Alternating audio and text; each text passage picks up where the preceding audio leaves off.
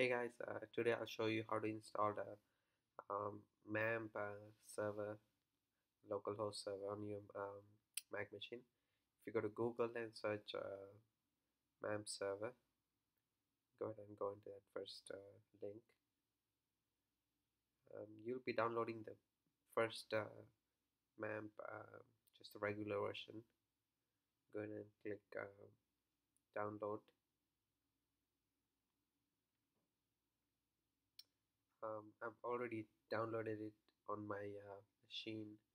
So go ahead and uh, choose the Mac uh, OS version. Go ahead and download it and then uh, extract the file onto your applications folder. Once done um, we'll see how we can go from there.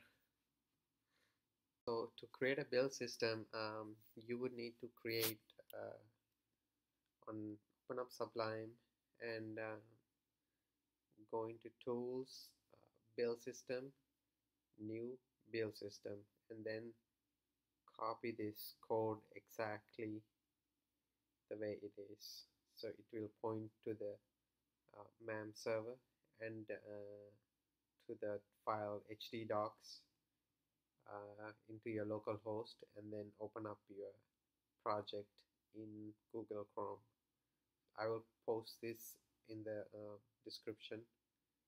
Um, and for Safari you will uh, use this command code and uh, save it as a, um, build system new build system.